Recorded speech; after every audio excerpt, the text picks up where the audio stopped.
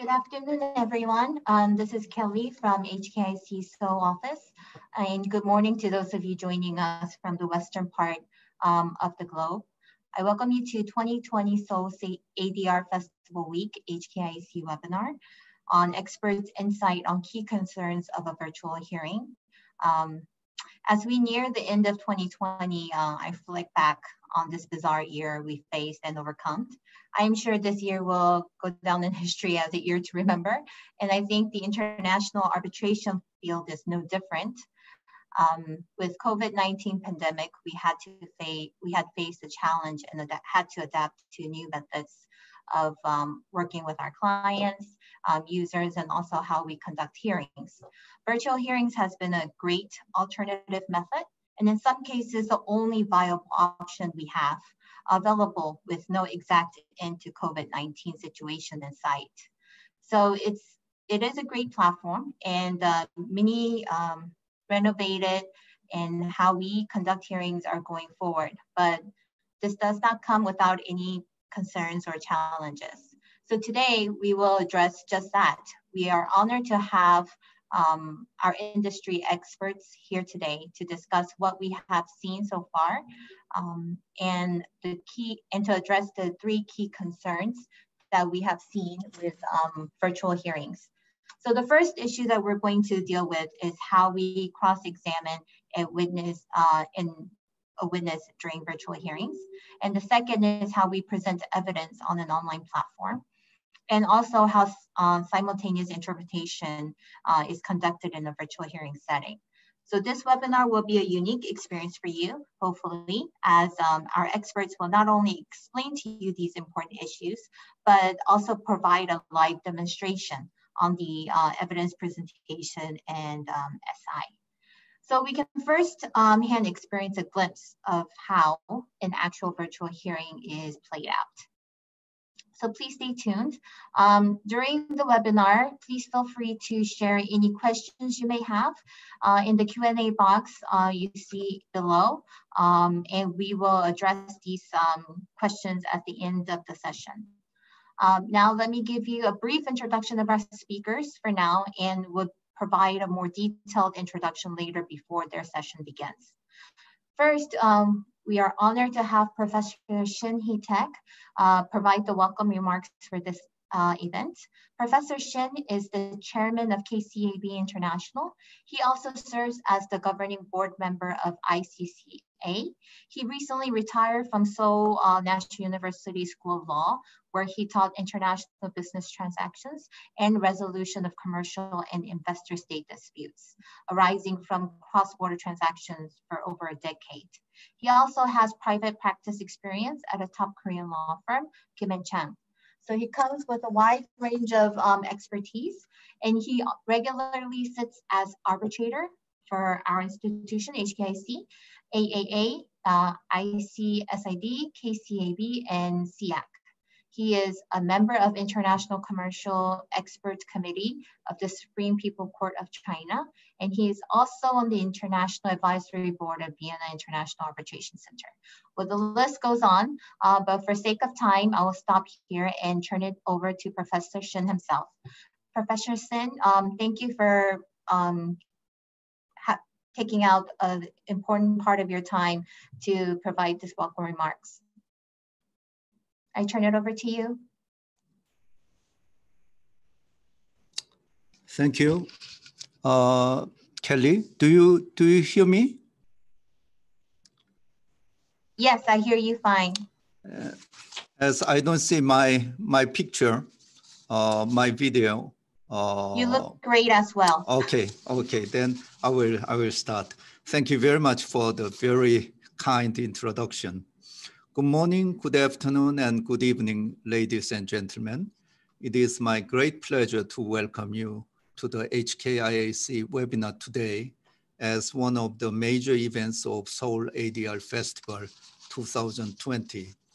First of all, I would like to extend my special thanks to our dear friends, Sarah Grimmer, Eric Ng, and Kelly Lee E of HKIAC for participating again this year in Seoul ADR Festival 2020. KCAB and HKIAC have a long tradition of participating in arbitration week events organized by each other. Last month, KCAB organized its webinar in Hong Kong Arbitration Week hosted by HKIAC. I would also like to extend my appreciation to our distinguished panel of speakers who have graciously shared their time and expertise with us for today's webinar. It is a very rare opportunity to hear insights from the key supporters of international arbitration hearings, interpreters and transcribers from TransPerfect and Epiq. Before the outbreak of COVID-19, the arbitration community had generally thought that hearings could only be conducted in person, except for a preliminary hearing dealing with mundane procedural issues, facing strict lockdowns, social distancing, and travel restrictions, international arbitration community has no other choice but to adopt home-based working and to transform case management services, arbitration procedures, and evidentiary hearings into either hybrid or fully virtual mode.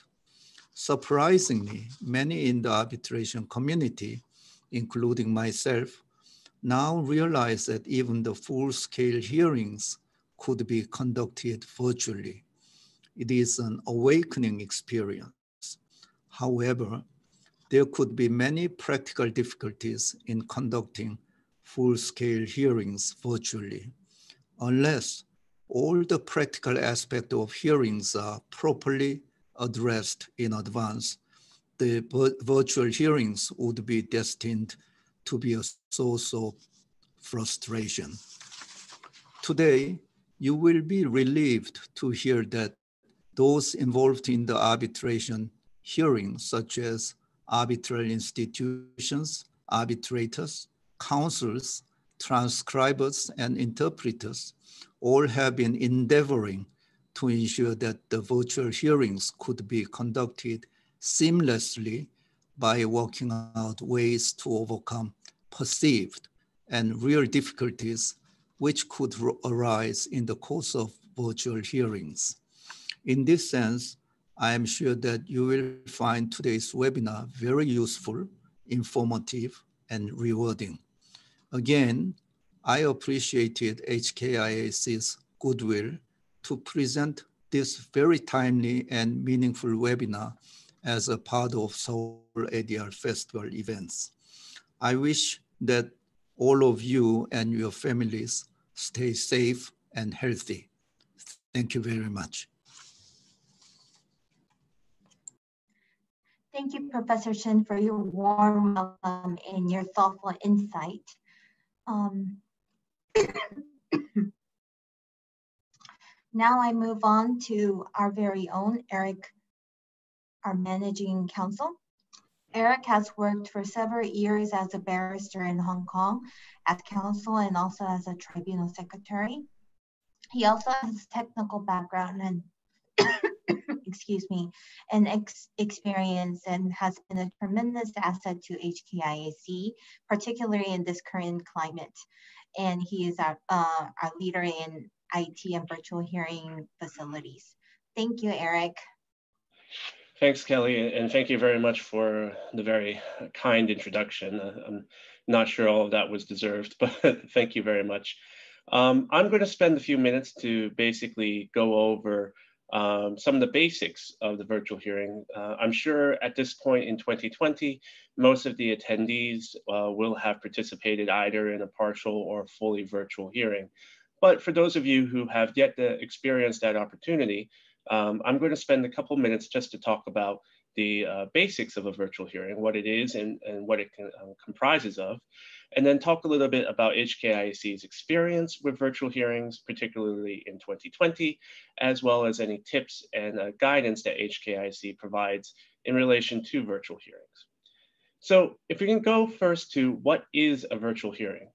Uh, it is essentially a method of supplementing or augmenting uh, what you would normally see in a physical hearing room. It allows those who cannot attend uh, or cannot be in the physical hearing room to have all of the functions and functionality that a, a, physical hearing would have. And this includes the ability to talk and see the arbitrators, uh, see the counsel, uh, examine witnesses, being able to look at evidence, and being able to have access to a full transcript. So if we look at some of the elements of a virtual hearing, uh, we look at, when we look at the elements, we're usually looking at three different components, uh, what we call the video conferencing or the telepresence solution, similar to what you're seeing uh, right now on Zoom. Uh, the electronic presentation of evidence, which allows for a simultaneous display of documentary evidence to all of the participants. Um, similar, very similar, in fact, to the presentation that you're seeing right now on this webinar. And thirdly, uh, access to real-time transcription and remote transcription, regardless of where the participants may be in their hearing. Uh, proceeding to the first element, which is the video conferencing solution. Now, video conferencing, we usually classify into two categories of video conferencing, what we call IP-based solutions, which tend to be the historical uh, solutions that we have for vir uh, virtual hearings. And you, you would usually find these solutions available at most major hearing centers or uh, at major law firms. With the advent of the COVID-19 pandemic, we have found that sometimes people don't have access or ready access to IP-based solutions. And so the majority of our virtual hearings these days in 2020 comprise of what we call cloud-based solutions. Now, these solutions are usually found on platforms such as Zoom, or also such as WebEx or Microsoft Teams or BlueJeans. Uh, these cloud-based solutions allow participants to attend uh, much in, in, a much easier manner. And in fact, in many of our virtual hearings, we've had to use cloud-based solutions because either due to governmental restrictions or access to facilities, parties or counsel or witnesses have had to attend from home. And attending from home for a cloud-based solution tends to be much simpler and much more effective. Proceeding to the second component, of uh, virtual hearings, what we usually call the electronic presentation of evidence, or in shorthand, EPE. Now, the electronic presentation of evidence allows for parties to literally be on the same page. Uh, using some sort of share screen functionality, which we find uh, built into many uh, cloud-based platforms, or in relation to uh, IP-based solutions, the EPE system allows counsels to direct the uh, arbitrators and the witnesses' attention to specific exhibits or evidence which is provided in the bundle. Uh, there's another slide after this which actually goes into some of the, the, the bits of EPE for your reference. Now, the EPE system is usually managed by a third party. Uh, the third party will have access to the document bundles and it allows for a neutral party to be in control of the evidence and the evidence presentation. Uh, however, in certain cases, we have also seen that the evidence can be controlled by the parties themselves. Now, we usually do this when there are complex factual exhibits in play. Uh, for example, in construction arbitrator arbitrations, uh, many of the exhibits tend to be architectural drawings or blueprints. Uh, those require counsel expertise or experts uh, expertise in navigating. And in those cases, we do allow for parties to control the evidence themselves. But for the majority of your cases, uh, you will usually have a third party um, provided by the service provider who will be on, in charge of directing your evidence. The third component, uh, which is quite important in international arbitrations, is real-time remote transcription. Now, traditionally, the court reporter or the transcriber would be in the same room as the parties and would have direct access to uh, the, the hearing itself. But with the advent of COVID-19 uh, and the need for virtual hearings, those court reporters can now be present in any location, including from home. And we in fact have had many virtual hearings where the court reporter was in was not in the same location as any of the parties and was participating fully remotely and yet was still able to provide a full real-time transcription uh, program for the parties and the arbitrators. Remote access to the transcription system also allows the parties and arbitrators to keep track of their proceedings just as if they were in the same room, including the ability to make annotations and notes, just like if they were in a physical hearing. Now that was a very brief overview of what the components of a virtual hearing is. So maybe it's now better to talk about what HKIAC's experience has been with virtual hearings. And the experience in some has been overwhelmingly positive. Uh, in almost all of our cases, we see that users are choosing to proceed with virtual hearings rather than postponing. Even during the early stages of the COVID-19 pandemic, what we noticed was that parties were choosing to uh, use virtual solutions rather than postpone their hearings to an unspecified and indeterminate date, uh, particularly given the nature of the COVID-19 pandemic, those even those hearings which were postponed eventually did wind up using virtual hearings because it became unclear, even at this date, whether or not global travel restrictions would ease over time. As you can see in the second column, the our experience with uh, virtual hearings has been also significant and numerous. 65% of all of our hearings to date have been either partially or fully virtual in nature. Now, when we say partially virtual, we mean that uh, either some of the parties or some of the arbitrators are able to gather either at the HKIAC or another remote location, with only some of the witnesses or counsels participating remotely. However, we have also administered fully virtual hearings where uh, no party was in fact in the same location and no party was at HKIAC. Those hearings spanned everything from case management conferences all the way up to full merit hearings. So we can see that virtual hearings has been successful to date with HKIAC. At the height of the COVID-19 pandemic in April and May, 85% of all of HKIAC's hearings were either partially or fully virtual in nature. And we don't see this uh, trend stopping in 2021. 60% of all of our future bookings uh, will be either partially or fully virtual in nature. And so we see virtual hearings not as a stopgap measure, uh, for the COVID-19 pandemic, but rather something which will be trending uh, and will become a permanent fixture in the future of international arbitration. Again, as we stated, these hearings can span from anything from simple case management conferences to short uh, emergency arbitrator procedures to full merits hearings and 40 plus or 50 plus day cases. Uh, we have had several cases which have spanned two to three weeks in length. And although they do require a lot of planning, uh, they have been overwhelmingly successful. HKIAC has administered most of these cases through its own, uh, uh, on its own arbitrations or HKIAC's administered arbitrations. However, given the global nature of the pandemic and the, the fact that travel restrictions are not limited to Hong Kong, we have also seen parties and councils and arbitrators who are participating in other institutional cases, such as through ICC, SIAC, or ad hoc cases, utilize HKIAC's uh, virtual hearing services to help administer a fully virtual hearing. We've also administered uh, and assisted on court proceedings in assisting uh, for witnesses ex examination, uh, both factual and expert, for court proceedings in Hong Kong, in Singapore, and in Canada. Now, in terms of our tips and tricks, things that you should take away uh, from a virtual hearing, our paramount uh, concern is communication. As, as I'm sure uh, Mr. Ware will go into in more detail during his presentation, uh, this is not an arms race. Uh, communication between the parties is paramount to ensure that a virtual hearing is successful.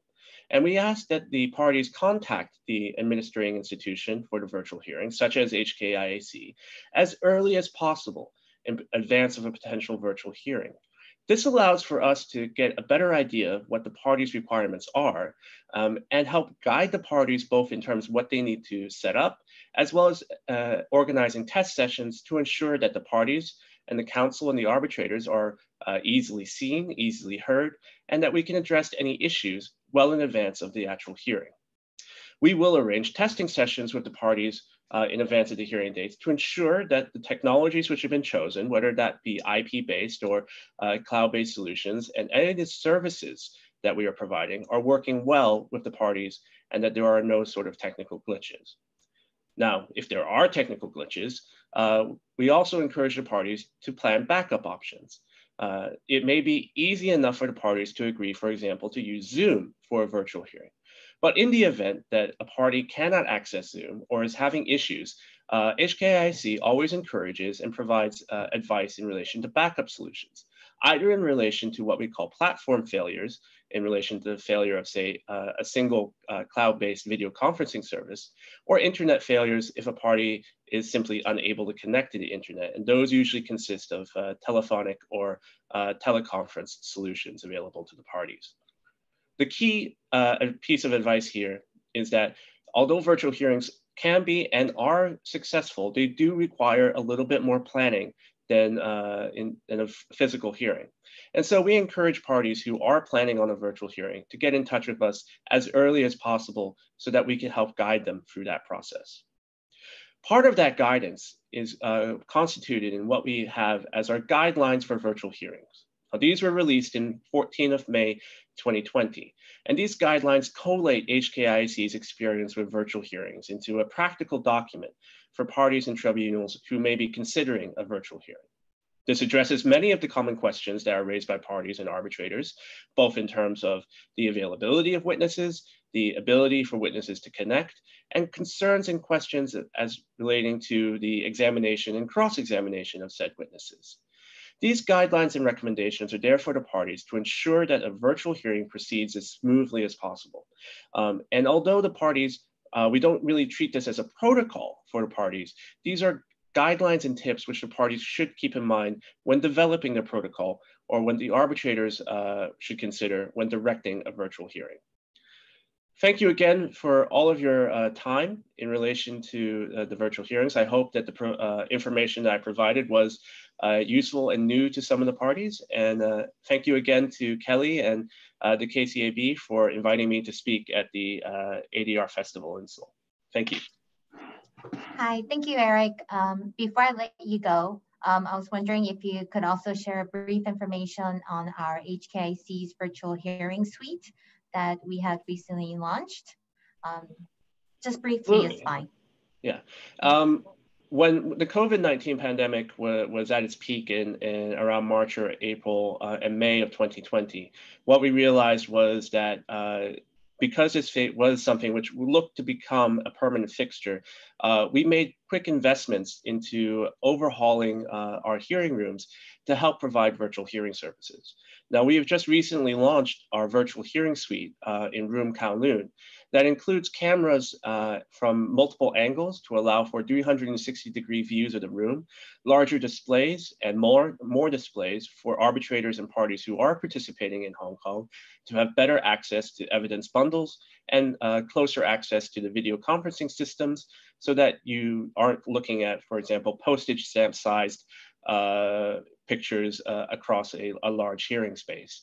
Uh, that virtual hearing suite was launched in October, uh, sorry, September of 2020, and we have already seen uh, many hearings being taken place uh, in the virtual hearing suite with great success. and so we are, we, would like to ask the parties if you are interested to send us an inquiry, and we'd be happy to show off that space to you at a later date. Thank you so much, Eric. Um, we also have a 3D video available on our website. You can always go ahead and um, um, go to our website and also check out the link. That's correct. Great. Yes. Thank you, Eric. Um, as Eric has explained, um, there has uh, many parties have already experienced uh, virtual hearings. Uh, partially or fully, uh, but there still has been concerns of um, but how effective cross-examination will be in a virtual hearing setting. So our next di distinguished speaker is Anton Ware, who will discuss discuss dealing with a cross-examination of a witness in a virtual hearing and give practical tips on overcoming certain issues. Anton is a partner at Arnold and Porter Shanghai office. He acts as counsel and advocate in commercial and investor state disputes for private sector companies, uh, sovereign states, as well as government-owned entities. Um, he often represents clients in the APAC region and specifically with disputes involving uh, Chinese counterparty as he speaks and reads Mandarin Chinese, which is um, great working in um, the Shanghai office. He serves as an ambassador to, of the ICC Commission on the Belt and Road Initiative. He's listed as an arbitrator for HKIAC, KCAB, um, and SCIA. he has been recognized as a future leader in the field of international arbitration. And we are happy to have um, you here today, Anton. Um, please feel free to take over. Thank you. Thank you very much, Kelly, for that very kind introduction. So the, the topic of my presentation today is what's the matter with virtual cross-examination? But let's begin with the good news, and, and that is that virtual cross-examination is not an entirely different or new exercise compared to in-person cross-examination. Virtual cross-examination is still cross-examination. And all of the main elements of an effective cross-examination apply equally to a virtual cross-examination. So I've listed on this slide some of the, the key elements or key tips that I always advocate uh, to achieve an effective cross-examination. For example, before the cross, making sure that you're carefully identifying your objectives, making sure that you are gathering and organizing and mastering the documents that you plan to use in the cross-examination and carefully preparing your question outline. So whether it's in person or virtual, preparation is more than half the battle when it comes to cross-examination. During the cross-examination, your one of your objectives is going to be to control the examination, to control the witness, but also to be building a certain degree of trust and rapport with the witness so that the witness will open up and answer your questions. You've also got to be very conscious of managing your time. And another key skill is knowing when to stop. What's the, the avoiding that proverbial one question too many, or also avoiding uh, unnecessary uh, topic areas. All of those factors or elements apply with equal force to a virtual cross-examination. If we could go to the next slide, please. So if virtual cross-examination is just another form of cross-examination, what's the problem? Why is it that so many lawyers and parties have expressed concerns about virtual cross-examination being uh, in some way an inadequate replacement uh, or, or substitute for in-person uh, cross-examination? And the, the answer is that virtual cross-examination does present some unique challenges.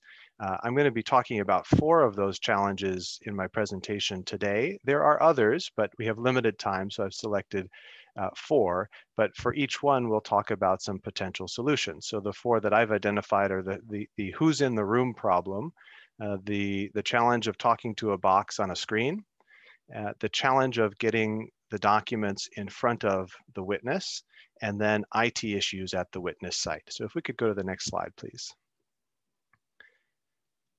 the who's in the room problem.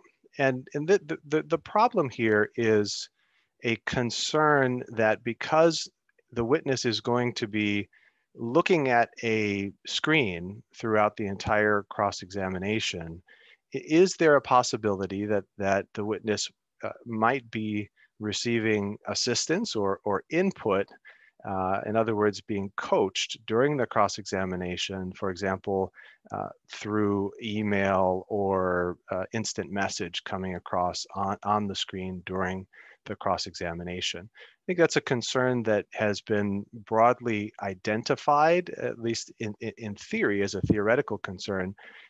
As for how, how much of a, a, a problem it is in reality, I think that's more of a question mark personally, I'm, I'm not aware of any instances in which uh, a witness has been found to have been been uh, being coached in in this way, and I think it's actually quite unlikely given the uh, you know professional nature of counsel that are involved in these cases. But nevertheless, it's a concern. So, what is the solution? Uh, what I've what I've identified on the on the screen is what I what I call the trust but verify solution. So what do I mean by that? In the in the trust category, uh, we we we want to, it's somewhat of an honor system. So we are we are going to be trusting that the witness is going to be complying with his or her declaration to tell the truth. I think it's also a good best practice for a virtual cross-examination to have the witness make an additional declaration that uh, he, that during the cross-examination, he will not be accessing any other materials other than the documents that are going to be displayed on the screen or that have been put in front of him uh, for, specifically for the purpose of the cross-examination. So that's that's on the part of the, the witness. I think it can also be useful to have the tribunal give an express admonition in the procedural order for the hearing reminding both counsel and the parties that it is impermissible for, uh, for, for, anyone to be communicating with the witness during their examination by any means other than the, the communication that is taking place on the record. So that should be very clear and agreed in the protocol for the hearing. Now, if that's not enough, you still you want to take some steps to to to verify that there's compliance with those declarations. One option, probably the ideal option, is to have a, an in-person observer in the room with the witness. That's the the the, the, the best practice solution if it's if it's possible if it's practical under the circumstances. Of course as eric and others have have mentioned that during we are in a pandemic and for many people for many participants in the hearing it may not be uh, feasible or may not be advisable to have additional people uh, joining in in the room together with the witness. So if that is if if that's not possible, then another option is to use technology to try to accomplish the same thing.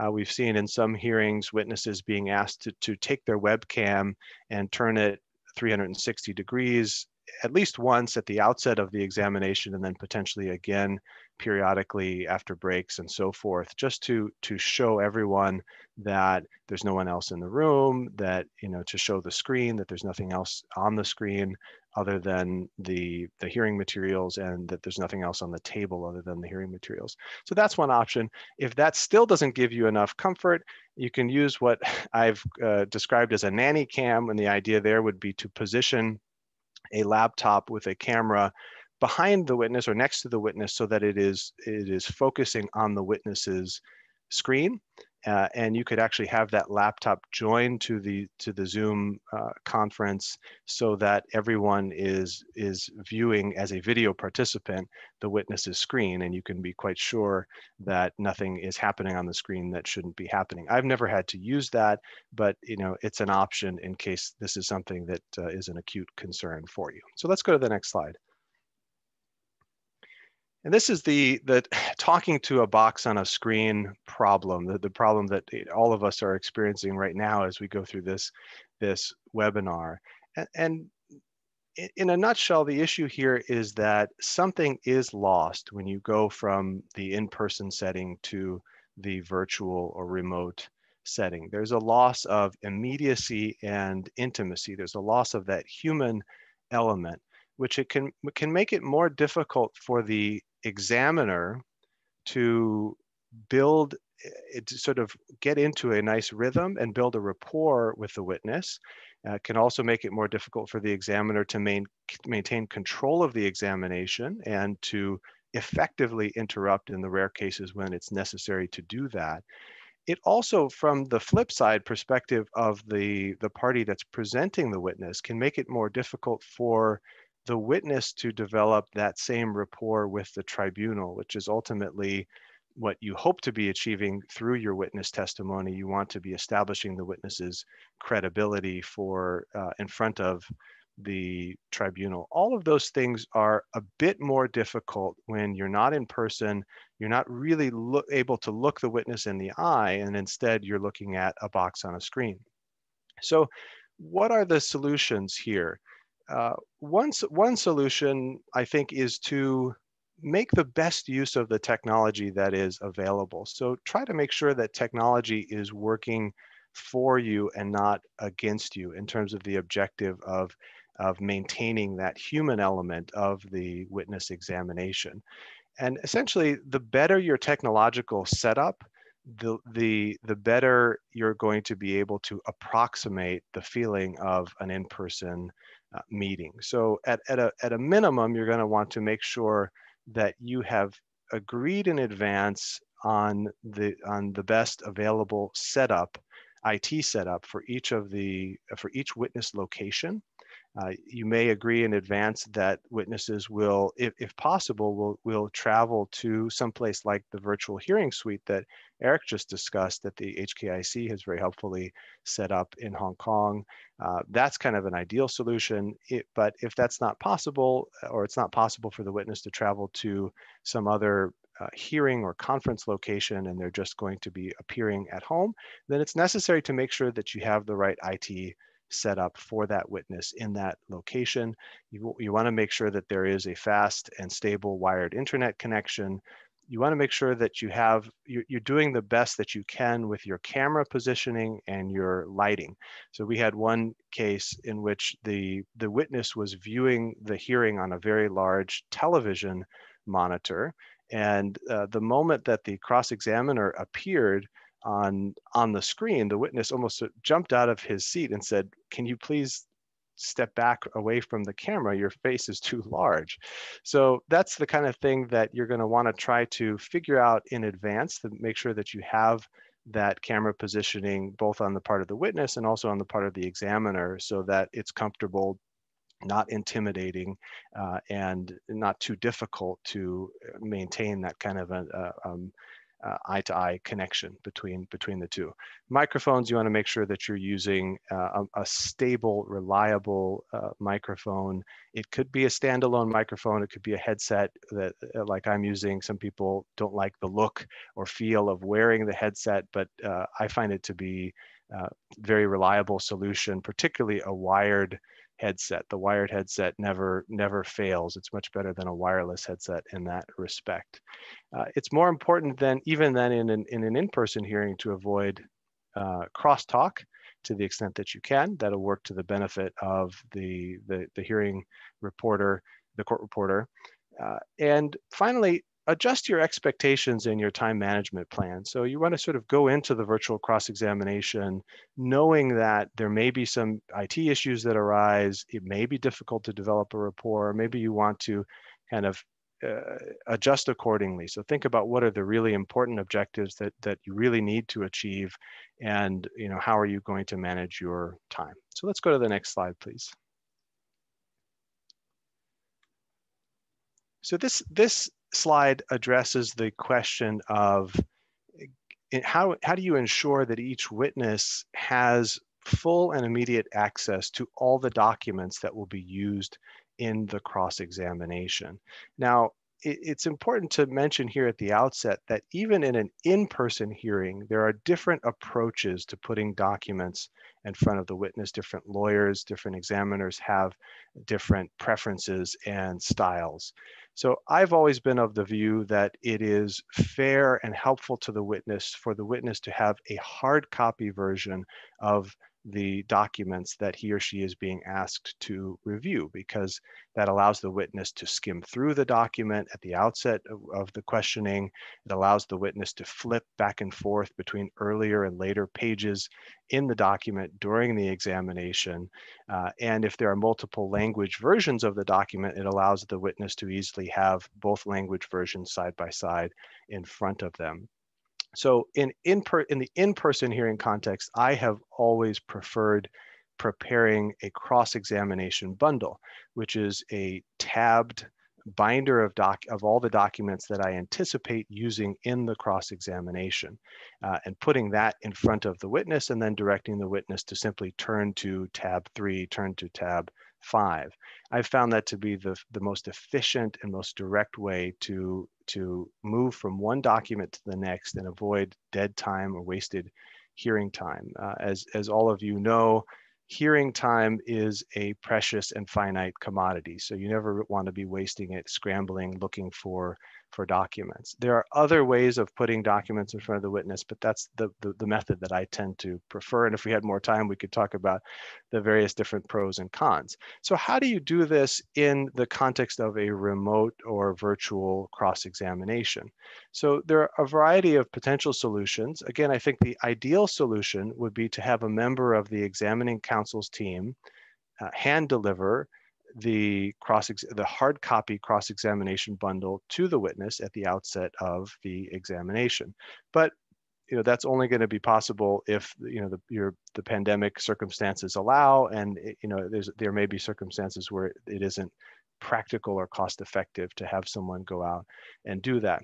So another another option is to simply courier the the hard copy bundle to the witness in advance or to opposing counsel in advance. But uh, oftentimes counsel are concerned that doing that would give an unfair advantage to the witness or to opposing counsel if they have the opportunity to begin reviewing and studying the documents in advance of the cross-examination and beginning to anticipate what the questions may be. So one method that has been adopted has been to uh, put that hard copy bundle in a sealed envelope and you agree in advance that it, it, you'll be you'll deliver it and then the witness will break the seal on camera at the outset of the examination. Now, if it isn't as important to you to for there to be physical hard, you know, hard copy documents in front of the witness, another alternative, which also can work and has worked in some of our hearings, is to in advance give the witness local electronic access, like on a USB drive, to all of the exhibits in the case, so the full case record, and uh, clearly organized in a, in a very clear and easily accessible folder structure. And uh, in the course of the examination, you ask the witness to turn to exhibit you know, C5, and they will just click and open up the electronic, local electronic copy of that document. They have full control. They can scroll up and down in the PDF of the document. It's not quite the same as being able to flip back and forth in a hard copy, but it, it's an acceptable alternative. Now, all of that is in addition to using an evidence presenter, which I strongly recommend, to display the particular excerpts of the documents that are being asked about in the cross-examination so that all of the participants can follow along. Now, if we could turn to the next slide and we'll move quickly because I think i am I'm at the end of my 15 minutes. So there's a concern, of course, about IT issues that may arise at the witness site and, of course, the problem of the technology challenged witness. We're all familiar with the phrase, you're on mute uh, from, from all of our, our Zoom meetings over time. Uh, it should be the responsibility of the presenting parties counsel to make sure that each of that party's witnesses has the proper IT setup and understands how to use it. Uh, in the pre-hearing IT test, there should be a, a separate pre-hearing IT test for each witness site or involving each witness site. And it'd be great to, in, to have the witness actually participate in that IT test. Uh, that's a nice opportunity for the witness to get some familiarity with how the virtual hearing is going to run, uh, what it's going to look like, how the, how the technology works. And from the perspective of the presenting party, it may relieve some of the pre-hearing anxiety for, uh, for your witnesses to do that. To the extent that you can have someone in person at the witness site assisting with any IT issues that may arise, that is obviously ideal. And again, as Eric mentioned, very important to have some sort of a backup plan in case the IT issues become unmanageable. Uh, if we could move to the, the final slide. Uh, the role of professional counsel in, in all of this really is key. Uh, it's important for the lawyers to actually understand or be proficient in the technology. So even the most technology adverse lawyers need to learn the technology so that they can fully participate in these hearings. Uh, counsel should be conferring and seeking to agree on a clear virtual hearing protocol uh, and then having the tribunal resolve any disputed issues well in advance of the hearing. And that kind of cooperation between counsel really can go a long way towards mitigating the logistical challenges of virtual cross-examination. And as I've said here, virtual hearings are not a blood sport. They don't they don't need to be. So that's my my plug on my mission to to uh, to civilize with respect to virtual hearings. And uh, thank you again very much to HKIAC for the invitation to uh, participate in this webinar. Thank you, Anton, for your very informative presentation. I really liked your nanny cam idea. I'll keep that in mind. Um, next up, uh, we have the Epiq team here to demonstrate the use of evidence presentation and transcription services. Patrick is the operation director overseeing the court reporting and transcription services in Asia. Rajay is the operations manager specializing in providing end-to-end -end support for transcription services. And Kate is the business op, uh, director uh, responsible for advising clients of all um, aspects of court reporting, transcription related services in Asia. So I turn it over to you, Epiq. Thank you. Thank you, Kelly, for the introduction and welcome again. And uh, now that we have heard some um, excellent over, overview of virtual hearing and also some insightful tips about cross-examination and some potential uh, pitfalls and uh, solutions of cross-examination, I think that is a natural progression to the uh, webinar. For the webinar, uh, webinar that uh, we can show you the live demonstration of a virtual hearing. How does it uh, how does it work out? How does it how does it work in action? Because of the uh, global situation, I'm sure that everyone is uh, has engaged themselves into some kind of a Zoom meeting uh, with your friends and family, or a Zoom meeting, an online meeting with your uh, with your company, or something like that. But virtual virtual hearing is a little bit different than a casual meeting online. And uh, as Eric has pointed out before, I'd like to reiterate that there's at least three components of virtual hearings. And uh, they are video conferencing, the second is uh, real-time transcript, and the third thing is uh, electronic presentation of evidence. And I'm not going to pass the time to uh, uh, my colleagues, Raji and Kate. They're going to give you a live demonstration of a virtual hearing. I'm going to pass the time to Raji and Kate now.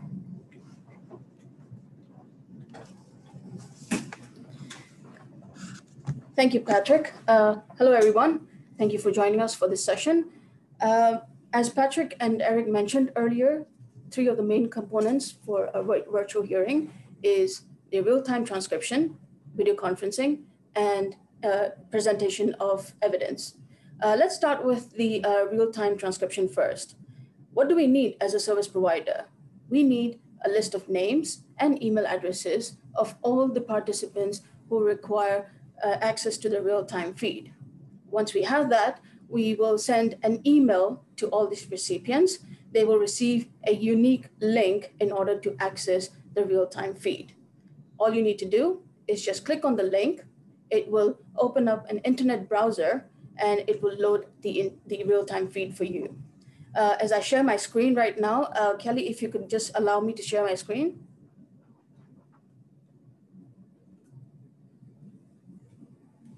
So as you can see on your screen right now, this is a live feed of our session today. Uh, our court reporter who has dialed in from Japan, uh, who, is kindly assist who is kindly assisting us for this demo, thank you, Catherine, uh, is able to provide a live feed of what I'm saying uh, on your screen. This is exactly what you would see if it was a normal he uh, hearing, uh, virtual hearing. I'm now going to ask our operator to open up the index page of our document. And while he does this, uh, you can see that I can resize the window so that I can have my real-time feed as well as the document uh, visual, uh, visible side by side so that you can have, you can have the uh, view of both of them simultaneously. What you will see on your screen right now is the video panel would have shifted either to the right-hand side or to the top of your screen. These are the default settings for Zoom, depending on how you set up your laptop. I'm now going to pass it over to Kate, who's going to talk about uh, documents and bundles in more detail. Thank you.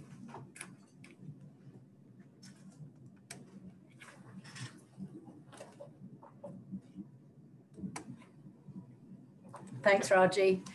Um, as Raji mentioned, we can also display the documents. What you should be able to see on your screen just now is an index to a bundle. Um, for the sake of today, we have created a small mini bundle, which should look familiar in its format in terms of the tabs, the document description, and the page numbers. Obviously, bundles come in all shapes and sizes and far more complex but traditionally they are developed in terms of sections. So bundle A, bundle B, bundle C, and that's what we've done today. So the benefit of having a simple bundle, familiar bundle format is that it's easy to navigate. And in terms of um, contrasting the PowerPoints, which you've seen already today, the advantage of having an electronic bundle is that you can jump from different section depending on what you want to pull up. and having an operator to, to do so. So you can see that I've got quite a number of sections. We're not going to run through everything. We're just going to select a few. So I'm now going to ask our operator to turn to tab A4. If you could jump to that, please. So you'll see that he clicked on a hyperlink A4 and it pulls up the document that I want to talk about now. So we're looking at documents. Now this is prior to, prior to the hearing, right at the outset, what are your considerations in terms of your documents, the bundle structure, and so on? It might depend on the volume of documents, how frequently they need to be updated, the types of documents. So how complex are they? Are they going to be large architectural drawings? Are there Excel formats? Are there videos, audio? How can they be displayed? Also, are people more comfortable using hard copies, in which case then hard copy document format, bundle format, can be replicated in electronic format as well. Are there going to be some documents which need to be uh, kept confidential um, from some of the witnesses? That's something that you can discuss beforehand with the service provider, with the operator, to ensure that certain documents are not shown and how the screens are going to be shared. At this point, I'm going to ask the operator to navigate to A5. So this brings us on to bundles. So you can see the little diagrams at the bottom. There's the nice familiar lever arch files that everybody is uh, familiar with. And there are now electronic documents as well. Fundamentally, they form exactly the same purpose. It's just the delivery method that's different.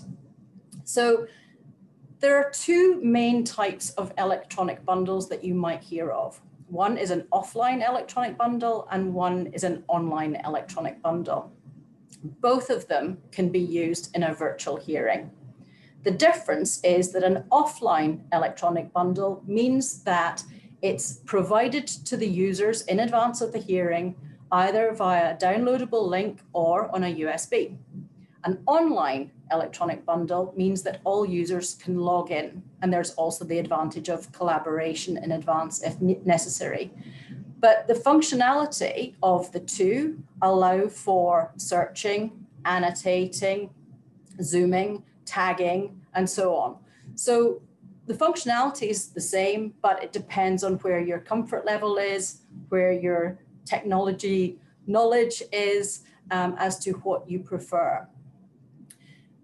What you'll also notice near the top of this page is a highlighted blue link. That is an internal hyperlink.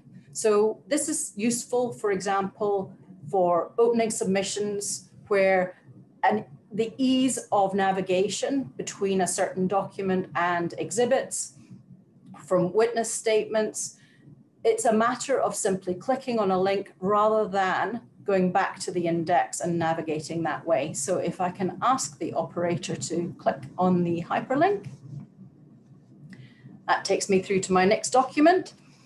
So now to talk about the in the hearing, what you're seeing at the moment is EPE, Electronic Presentation of Evidence. We're working at the moment with an, with an offline bundle. So the structure is very simple. But there are some functionalities that are available um, depending on what the documents require and the need of um, your presentation. So I could ask the operator, for example, to rotate this document. So that's obviously useful for landscape drawings or to zoom in if perhaps there's a document that you want to pay particular attention to a specific paragraph, or there are some other advanced functionality depending on the platform that you use. You can highlight and you can prepare in advance. It's worthwhile considering the documents that you've got and what do you want to present do you want to discuss in advance with the operator some specific functionality that you will need in terms of zooming in or opening specific cells on Excel documents, for example, as well? So at this point, I'm going to ask my colleague Raji to jump back in again, but I'm going to also ask if the operator could quickly pull up document A2 and Raji is going to talk about choice of platform and other preparation. Thank you.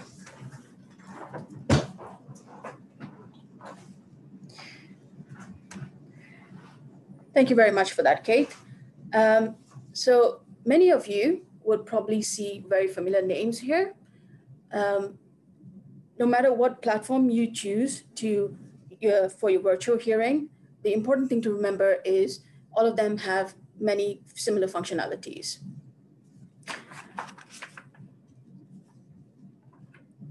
From our experience, uh, Zoom, but sometimes WebEx as well, are the most common uh, platforms to be used for virtual hearings, probably because of their user-friendly interference interface. From our experience, uh, the common functionalities that are available on these platforms are waiting rooms, where the moderator has control over who to grant access to the main hearing, or even do a quick checklist to see if that uh, participant is supposed to be admitted into the room. There are uh, functionalities of breakout rooms where each party or the tribunal members can split into separate virtual hearing rooms to discuss in private during break time. Uh, the waiting rooms are also available so that when the witnesses are waiting to be cross-examined or during break time, that is where they need to wait into. Other functionalities for these platforms are mute and unmute button, the video on and off button, uh, raise hand functionality, uh, the speaker and gallery view, just to name a few of these functions available on these platforms. Speak to your uh, speak to your service provider if you need any assistance, and they will be able to guide you on how to move forward with these platforms. Now, if I could ask my op uh, the operator to go into tab B3. So as you can see from this diagram, uh, it really depends on what equi equipment is available to you. You can obviously, it is possible to use just one laptop to be able to view the real-time feed, the document, and the VC. However, you might find that a little bit of uh, too congested if you have to sit for a long hearing day. Uh, our recommendation is a minimum of two screens. So you could have one laptop, which is running the real-time feed, as well as the video panel, and then a connected monitor, which would expand into showing the document for better visual uh, visuals. Alternatively, you could also use three separate screens so that each window can open up separately. Uh, this is quite ideal for, um, from our experience, especially for the arbitrators, as hearings could run really long and they don't want to uh, be looking at one tiny screen for, uh, for a long day. if you need assistance with any of the uh, any equipment, if you have a local service provider, please reach out to them and they would be able to help you to supply some of these equipment. Other items that you should prepare for your virtual hearing is uh, a proper, a proper pair of headsets with a mic to ensure that the quality of the audio is loud and clear for, uh, especially for the main speakers as you need to ensure that the, the record of the transcript is accurate and as well as it's better for the speak uh, the uh, participants during the hearing. You also need to ensure that you've got a stable internet connection. Uh, we recommend obviously a LAN cable instead of a Wi-Fi. Uh, but if this is not readily available, uh, ensure that your Wi-Fi is strong enough in order to avoid any distractions or disruptions or lagging or disconnections.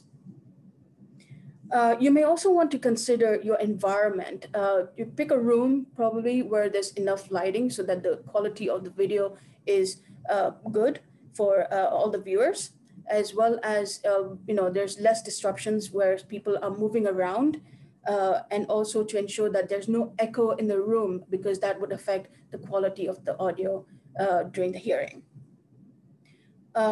we recommend to uh, obviously once you have chosen your platform um, and, and have set up all the necessary equipment, organize a test session with your service provider so that they can test with you the audio, the video, as well as the internet connectivity and uh, you know the equipment setup on how what is best for you for the duration of the hearing.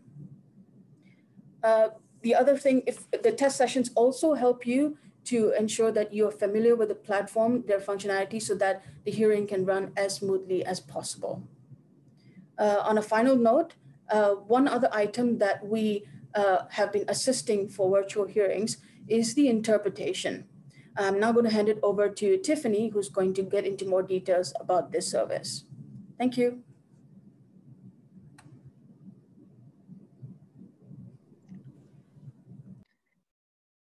Thank you, Epiq team, for your um, insightful presentation. A live demonstration is always really helpful to put everything in perspective. Um, lastly, um, as we have, we have Tiffany and Tom from TransPerfect to provide uh, an explanation on simultaneous and consecutive uh, interpretation. They'll be also providing a live demonstration of the simultaneous inter interpretation services. Tiffany oversees TransPerfect uh, conference services team in APAC region, working across multiple verticals to facilitate in-person conferences and right now, remote solutions and multiple uh, modes of interpretation. Tom is the legal expert at TransPerfect.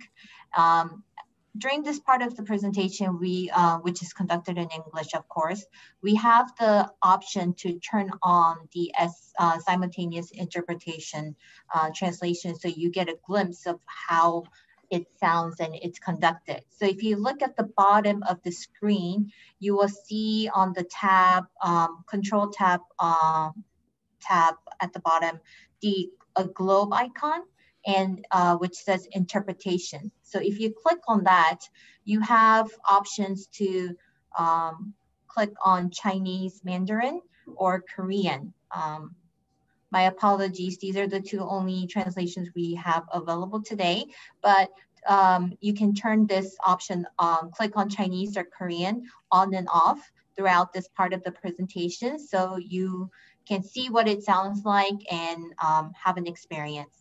Now I turn it over to you, TransPerfect. Thank you. Thanks, Kelly. Um, hello, everyone that's dialed in today. Um, and thanks to HKIAC, our fellow panelists, and for everyone else that have taken their time to dial in today. Um, before we start our session, as Kelly was mentioning, um, we do have these two linguists available and on the line, so please feel free to use them. Um, as Kelly's mentioned, you just click that globe icon, and if you'd like to, um, you can hear both the English running in track with the translation at the same time. You'll notice my audio is silenced, um, and then when the interpreter stops, my speech will come back up to full volume again. So that gives you the Zoom background in terms of flow. So as Kelly's already briefly introduced, um, my name's Tom. I'm an account executive at TransPerfect Legal Solutions. So I work with clients across our full legal technology services offerings. So we cover digital forensics, document management, e-discovery, and other service lines. And I also spend a lot of my time working with um, our full language services offerings as well. So I support legal and compliance professionals with transcription after the fact, document translation, and the main topic of this segment, so interpretation services. Um, Tiffany is here from our conference services team, and here she is. Hi, I'm Tiffany, and I work within our conference services division. We provide experienced particular specific linguists tailored for particular events, ranging from large conferences with thousands of attendees to small and discrete hearings. Our interpreters today are Jiwon, who is a professional Korean interpreter, as well as Scott, who is a professional Mandarin interpreter. So the rundown for today, we're going to give an overview of the different interpretation modes, the associated benefits and potential drawbacks, remote and hybrid solutions, as well as some example setups and best practices.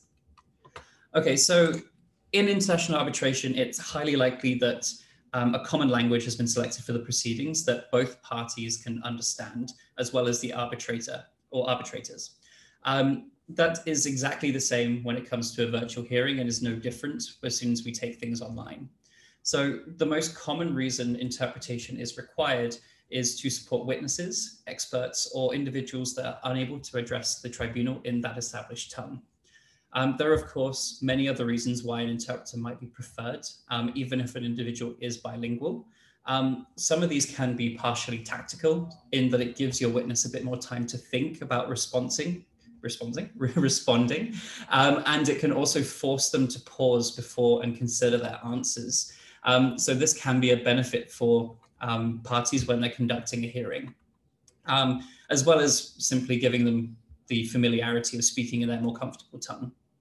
Ultimately, our interpreters are in place to ensure that effective oral testimony is provided, although they can assist as well with documents. So as you've seen before, there's means to present documents um, within a virtual platform, and our linguists can also assist with um, reviewing and interpreting um, orally what they see on a page, such that a witness can understand um, what is being referenced on a document. Um, we do see rare occasions where, especially in this region, um, parties speak an established language, but an arbitrator may not. Um, this has been a slightly more commonplace in the PRC, whereby um, both parties speak um, Mandarin Chinese, but the arbitrator is an English native speaker. Um, this is a less common occurrence, but it is something that we can accommodate as well. So in most circumstances, both traditionally and typically virtually as well, um, a consecutive interpretation is set up. So this is effectively what we have on the slide. So we have one party speak. Um, this is directed towards the interpreter. They will translate or interpret for the expert or the witness, and then vice versa. So they'll respond in their native tongue and back to the wider tribunal. Um, so we'll move on to our next slide. And the main thing here really is for parties to decide between consecutive or simultaneous interpretation. So consecutive interpretation is the mode that most attendees on this call would be most familiar with. So an individual will say a sentence, the interpreter parrots the sentence for the audience to understand before relaying back the response. The interpreters, well, this fosters the highest rate of accuracy as the sentences are shorter and there's more time for the interpreters to process the contents. A single interpreter can handle this for a full day without any additional support, meaning that in terms of cost of language resources, this is the cheapest mode of interpretation. And simultaneous interpretation is commonly referred to as the UN style interpretation, as parties are sat with headsets listening to audio feed interpretations real time. And this is typically used for large meetings or events. But with virtual hearings becoming more and more prominent, coupled with the ease of arranging a simple remote setup without the need for additional technology or equipment like microphones or receivers that you typically see at an on-site event, simultaneous interpretation is a realistic solution for virtual hearings. The accuracy, however, is considered to be lower than consecutive simply due to the immediate feedback of the interpreted content, or in relation to, to consecutive, there's less time for processing. It's pretty intense for a linguist. So not to mention the differences in syntax, sentence structures, and everything else that comes with, you know, interpreting between languages. So we always use two linguists for this and they rotate on and off. So it will give them time to let their brain to recuperate. So when we're talking about cost differences um, in these, obviously we are speaking about the cost of interpretation fees themselves. So the resources that are supporting you in the room or virtually. Um, it's important that counsel and end clients are considering the mode of interpretation as this can have wider implications to the fees associated to the arbitration. That, that mainly being because if you're proceeding under a consecutive interpretation outline, the overall duration of the arbitration is likely going to be longer because of you're going to have more time with lawyers, experts, arbitrators having a back and forth discussion via an intermediary and that can reflect in increased respective hourly fees. So that's kind of like a background thing to consider as well when selecting your mode of interpretation. Um, and in those circumstances, clients may prefer to double down and follow a simultaneous interpretation route instead, whereby you have two linguists and everything flowing in a much more real-time perspective. So both of these modes can be deployed in within a remote interpretation setup, depending on the client and the counsel's preference. As a service provider, we also actively play the role as a consultant. So we like to advise our clients based on their preferred platforms on helping them troubleshoot and put together a bespoke solution. So what are the benefits of remote interpretation? Clients are given an access to an even broader pool of experienced linguists, and they're not limited to linguists that are usually in city or in country. In country, and this is a very common practice with in-person engagements. And mostly for cost-saving reasons, the client wouldn't have to pay the interpreter for travel, their hotels, and meals, and their flights, and instead, the linguist can just dial in securely, and everyone benefits. As with any of the of the parties on the line today, you know, everyone is to an extent subject to or at mercy of technology holding its end of the bargain. If the connection drops or a witness is difficult to hear, uh, our interpreters will still try their best to accurately interpret what's being said as accurately as possible. But this is no different than an in-person meeting. And but there's also the absence of you know physical cues and body languages to consider. So we're also starting to see um, a need for hybrid solutions where some parties are appearing in room with uh, the witness or experts or opposing counsel and arbitration dialing in remotely. And as partial global restrictions continue to exist, there may be a continued opportunity for remote interpretation to support an international arbitration. Cool. So just like in-person hearings, um, we also have key things to consider when setting up um, interpretation both virtually as well um, it's really crucial that we establish a set protocol and that's commonplace across everything to do with the arbitration and interpretation should form part of that protocol. Um, we strongly encourage um, all parties to share any kind of prepared materials ahead of time and in advance such that the linguists can read through and become familiar with everything that they need to know. Um, common kinds of documents for these are opening statements and witness statements, and this can really allow our linguists to better understand the matter and also give a, a greater outline to what is going to be discussed or preempt ahead of time.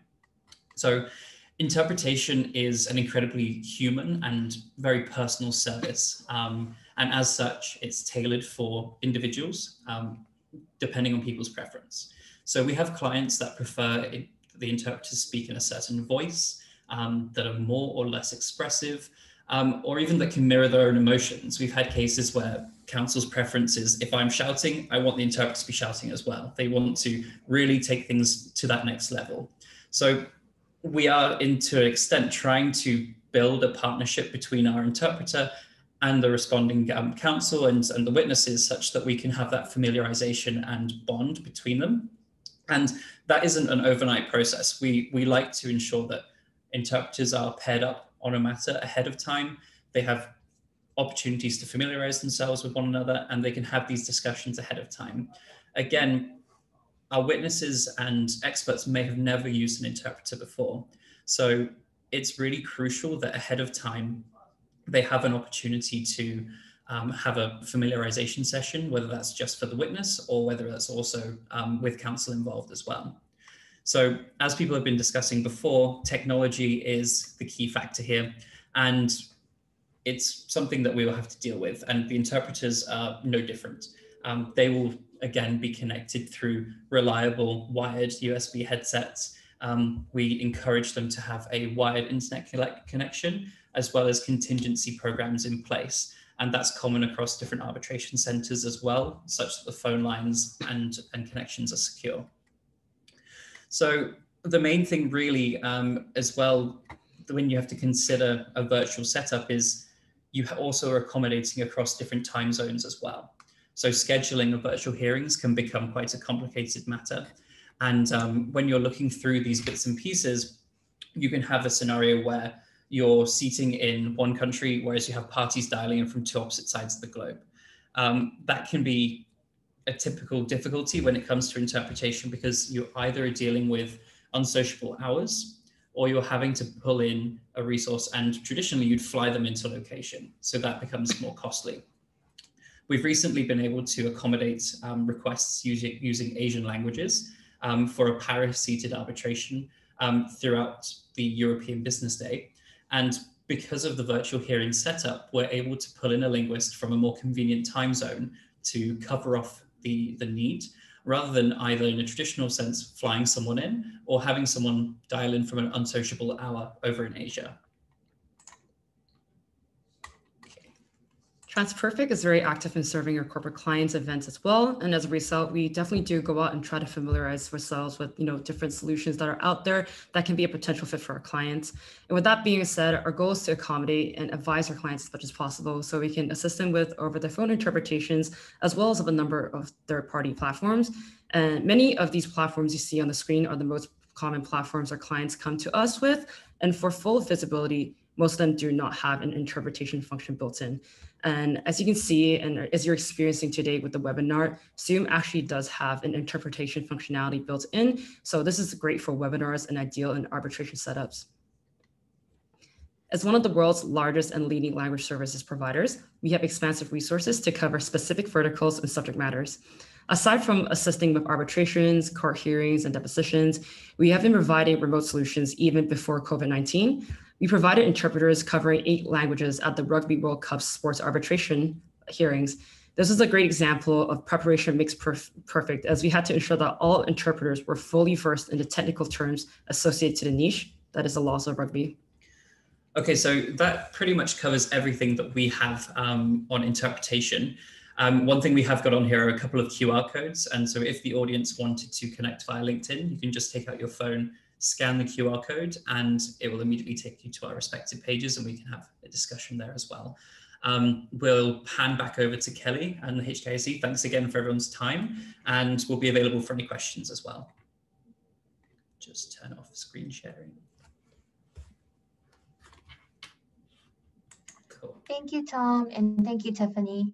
Um, that live demonstration was really helpful um, on just being able to cue in and out of the Korean and um, Mandarin Chinese was um, a very good experience. Uh, so now we're at the very end of our um, presentation. Um,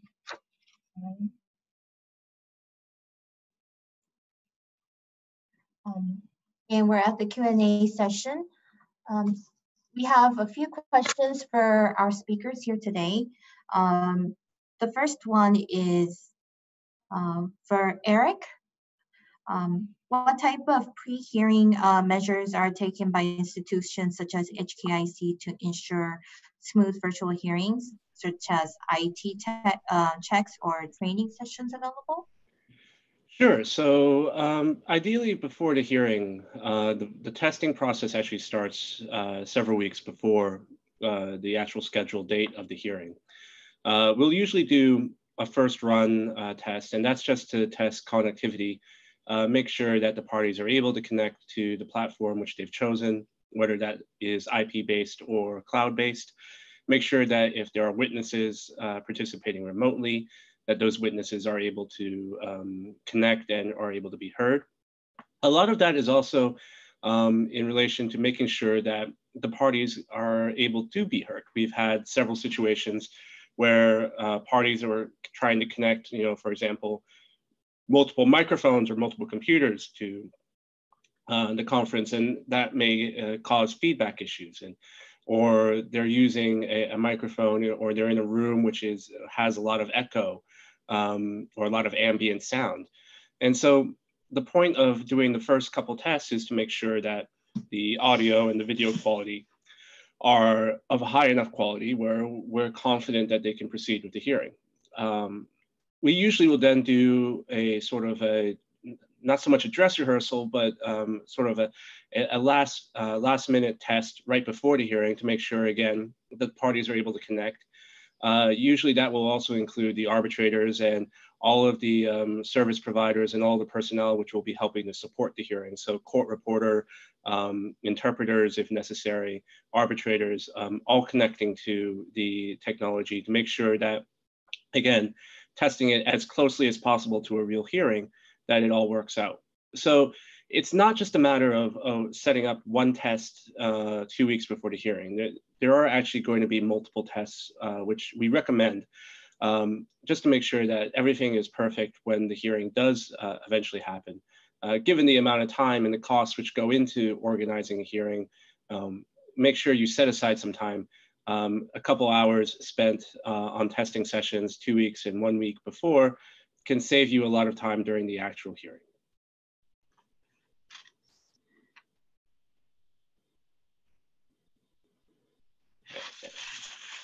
Thank you, Eric. Um, the next question we have is for Anton. Um, have you had any personal experiences with a challenging witness? And um, if you could give us an um, give us your war story on that. Uh, thank you. That's a great question. I I have uh, been fortunate to have had experiences with challenging witnesses both in in person and uh, and virtually uh, or, uh, or through video uh, cross examination.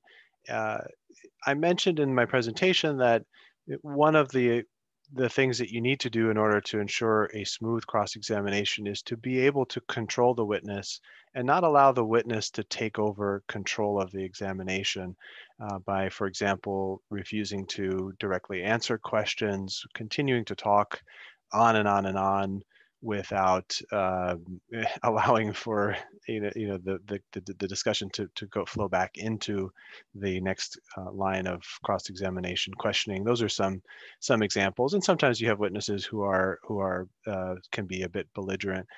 My, in my experience, you know the steps that you need to take to control that kind of a witness uh, are, are essentially the same steps whether you're doing it in person or whether you're doing it in uh, in a virtual setting.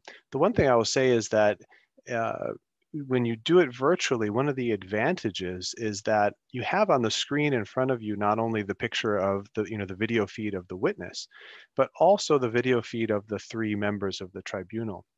And so one of the one of the tricky and sensitive things in any cross examination is wanting to make sure that you're striking the right balance between controlling the witness, but doing so in a way that's that is polite enough and civil enough that it's not going to annoy the tribunal or give the tribunal the impression that you're being unfair to the witness. So in an in in a live in-person examination, that's a little bit tricky because your your line of sight in in one direction is toward the witness, and oftentimes you know the tribunal members are uh, in a different direction and you would have to be kind of it's a bit difficult to to gauging the tribunal's reaction while at the same time that you're trying to engage with the witness control the witness remind the witness to answer the questions interrupt the witness rarely but when necessary to make to let them know that it's really important that they answer the questions and and so forth. So but the nice thing about a virtual hearing is that you have right in front of you the tribunal members and you can see their reactions as they are happening in in real time and that can and can actually potentially make it a little bit easier to know you know if they're also getting frustrated with the uncooperative witness and then that's this that's the moment when you may be in your um, best position to to jump in and do a polite interruption of of the witness to try to get the examination back on track Great point. So there's actually a benefit to doing a cross-examination on virtual hearing setting. Um, thank you, Anton.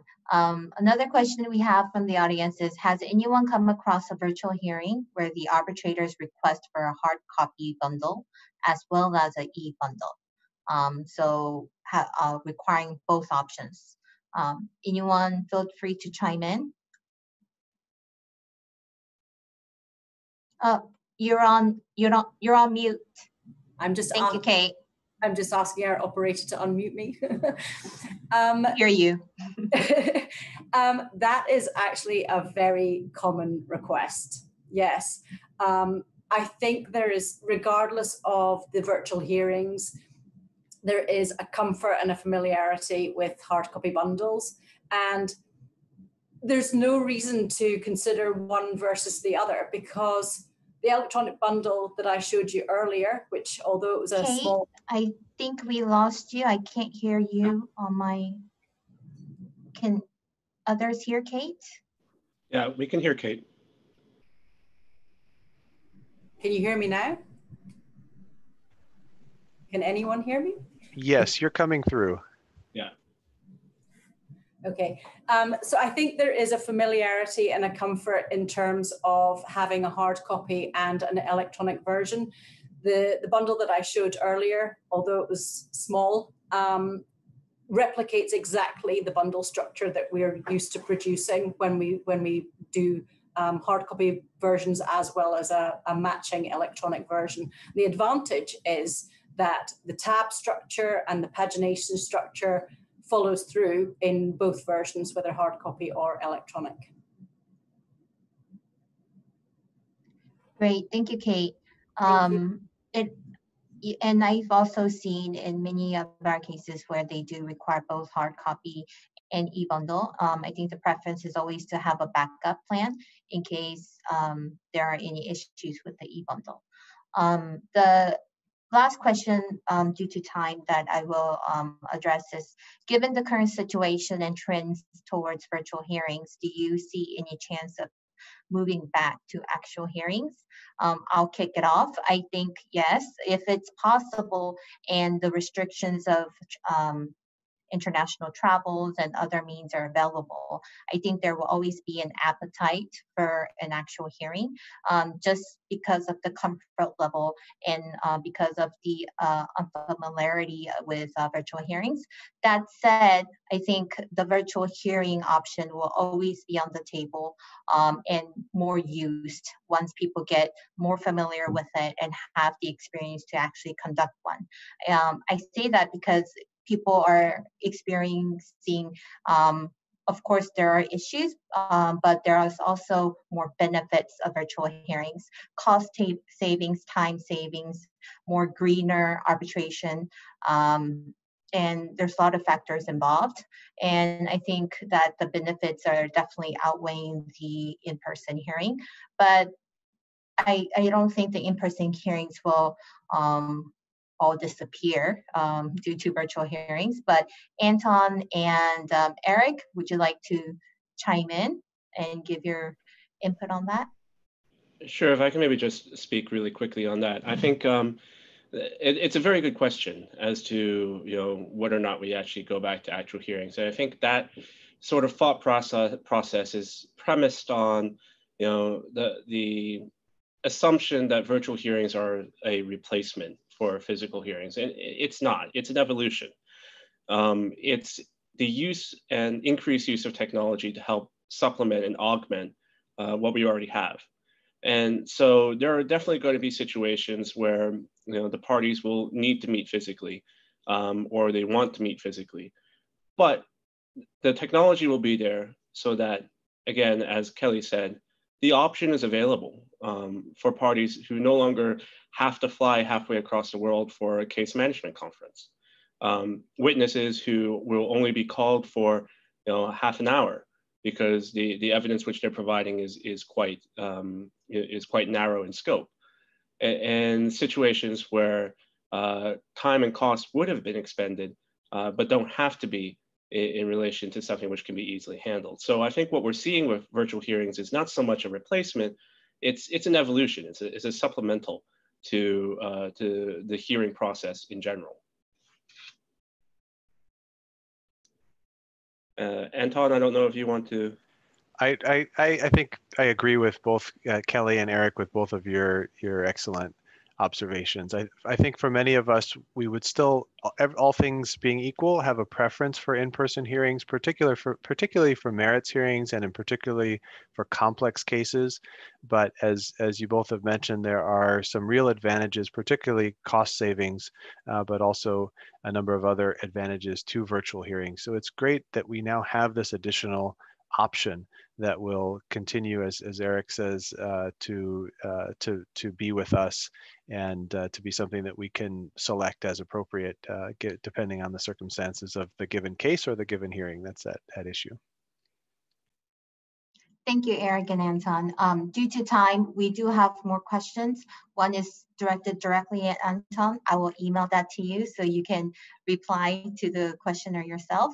Um, um, thank you all for your um, for your time and I would really like to thank our distinguished speakers for their great presentation. This was a very, there has been a lot of virtual hearing um, webinars to date, but I think this has been a very unique experience, um, especially uh, thanks to TransPerfect uh, for, for providing the simultaneous interpretation and also to um, Epiq for the live demonstration on the transcription and the e-bundle. Uh, it was a great experience. I learned something new today and hopefully the audience did as well. Um, so I thank you, uh, thank you to the speakers and also to the audience for taking uh, time out of your busy schedule to tune in. Uh, for those of you who joined later on and missed some segments of the section, uh, the webinar is recorded and we will be putting the video up on our website for you to review. So please feel free to go on and uh, register and watch the uh, webinar uh, at your time of leisure. Um, we also will be providing the information for our speakers um, on the website. So if you have any further questions, uh, please feel free to contact them. Um, and the more questions that are coming in now, I will make sure that I pass this on to our speakers so they can um, answer to you by email. Thank you all, and um, I will adjourn here for today. Thank you.